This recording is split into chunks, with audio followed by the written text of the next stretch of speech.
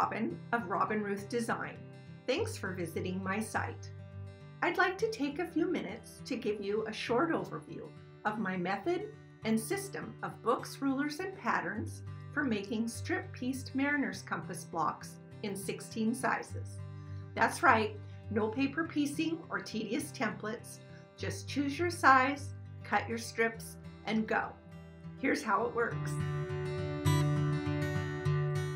There are two sister books and rulers which make slightly different looking compasses using the same exact method. Notice how the points on this compass are skinny and the points on this compass are fat. This is the Skinny Robin 16 point Mariner's Compass book and its ruler.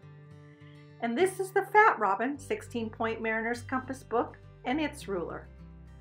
The difference between these two is the angle used in constructing the blocks. The Skinny Robin uses a 45 degree angle and the Fat Robin uses a 60 degree angle. You will also notice that the Skinny Robin book is blue and the Fat Robin book is green.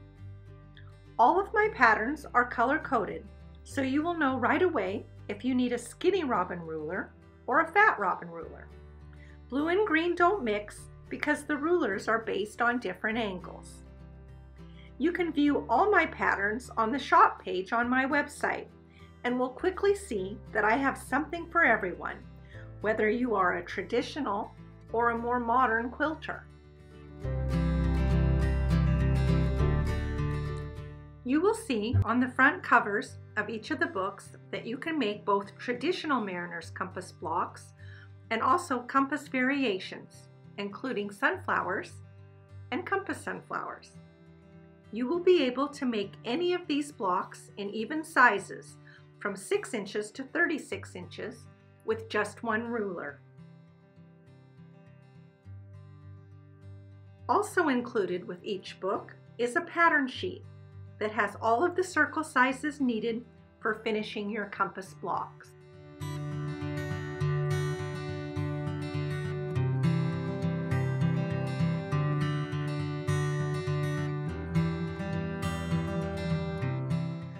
Both books include detailed instructions and great step-by-step -step illustrations to give you a clear understanding of my strip piecing method.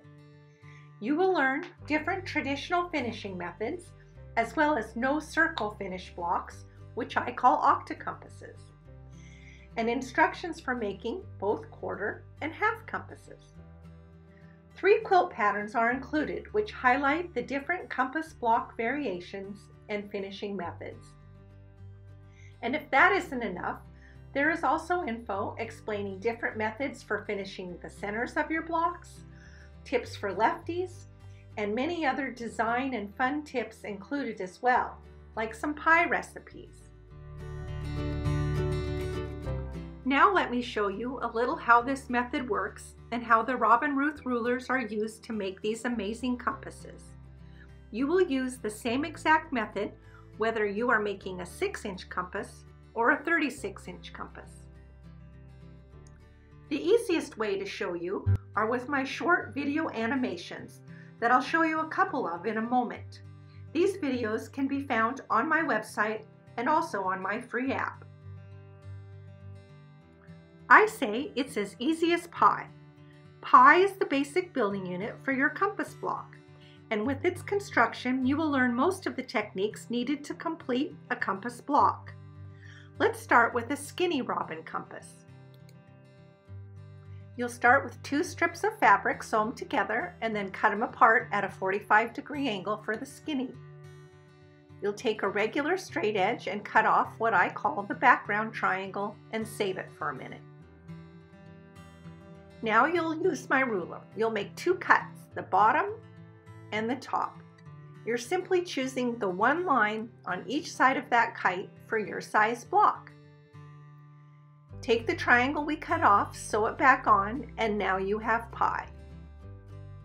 You'll make your eight pie, and four of them will go on the next strip. Cut them apart with a straight edge. Use my ruler to make those same two cuts, except you're just turning it around and use the other kite. Take your reserve pie, sew it on the other side, and now you have big pie. Those four big pie go on the last strip. One more cut with my ruler. You'll sew those four units together and you have a mariner's compass. No Y seams here and then different finishing techniques to finish your block. And the fat robin compass works the same way. Sew the strips together and this time we'll cut them apart at a 60 degree angle. Take a regular straight edge, cut off the background triangle and save it. Use your fat robin ruler to make two cuts, the bottom and the top, again choosing the one line on each side of that kite for your size block. Take those triangles we cut off, sew them back on, and now you've got fat pie. Take four of those fat pie and sew them on the next strip. Cut them apart with a straight edge. Use my ruler, make those same two cuts using kite A this time. Add your reserve pie, and now you've got big pie. Those four big pie go on the last strip. One more cut with my ruler, and once again, sew those four units together and you have a Fat Robin Mariner's Compass.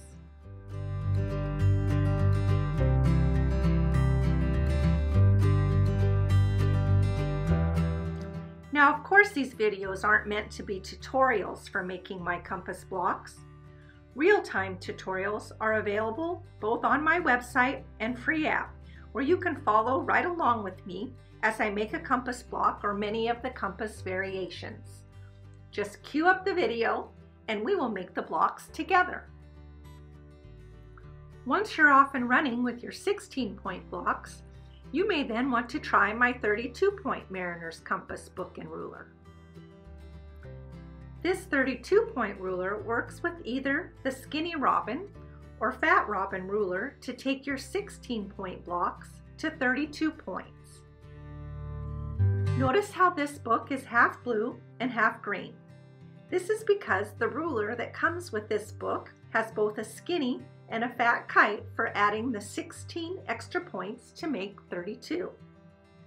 Again, you start with the 32 point ruler and then use either the skinny robin or fat robin rulers to complete these compass blocks and many more 32 point variations. There are also 32 point patterns available, color coded for skinny and fat, and it will tell you right on the front of the pattern if you need the 32 point Mariner's Compass book and ruler to make that pattern. And a quick word about my angle ruler. This 6 inch by 14 inch ruler is a straight edge ruler I designed with all the angles needed for making my blocks in the middle of the ruler for easier construction. For making 16 point blocks, you just need either a 45 or a 60 degree angle, which does come on most straight edge rulers that you may already have. If the angles are on the ends of the straight edge ruler, it can make construction a little more challenging. This angle ruler has some other angles that are needed for constructing the 32 point blocks and that are not found on any other ruler. I do, however, provide a transparency in the 32 point book that you can affix to your own ruler for constructing any of the 32 point blocks. I do have a great free app as well. Search Robin Ruth Design at the App Store or at Google Play. Here you will find both my animated videos as well as my real-time video tutorials. You'll also find a great block design feature, which has all of the American-made brand solid colors, so you can preview your blocks before committing them to fabric. For Apple users, there is a strip calculator where you can put in what size and how many blocks you'd like to make, and the app will tell you the strips to cut. Android users don't despair as this feature is also included on my website. My goal all along has been to help make these strip-pieced mariner's compass blocks accessible to all quilters and to provide as much instruction and support as I can to make that possible. I hope you will want to give my rulers and method a try and make your own creative mariner's compass project. Happy compassing, and I hope to see you soon somewhere out on the quilt trail.